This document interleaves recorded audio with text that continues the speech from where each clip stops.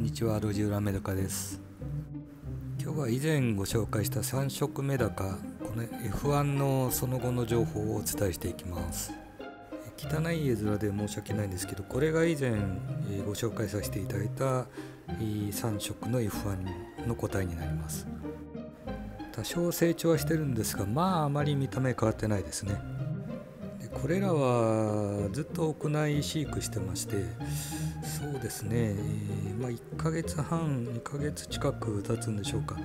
えー、ただまああんまり色ののりも良くないし、サイズもそんなに大きくなってないというような状況です。屋内飼育してる理由というのが、まあ、ベランダがあるにはあるんですがあまり日当たりが良くなくて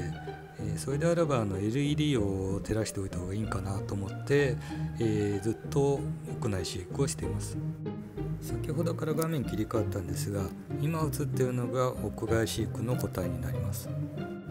なぜ屋外飼育かというとこれまあ偶然たまたまで、えー、屋外に水草のケースを置いてたんですけれども、まあ、そこに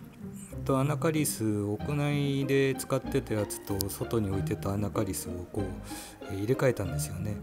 でその時にどうもあのアナカリスに卵ついてたみたいででそれ気づかないまま外のケースに入れてしばらく経ったらこの子たちが、えー、卵から帰ってたと。いうような形になってます。であえて屋内のケースに連れ戻すのもまあなんだかなと思ったんでそのまま、えー、屋外の水草ケースの中でこの子たちは育っているという状態です。で見ていただいてどうですかね。あのサイズも屋外で育った子の方が大きいですしで色がすごく違うんですよね、えー、朱色というのも出てきてますしもともと出てほしかった黒っていうのもなんとなく出てきそうな兆しを感じてます。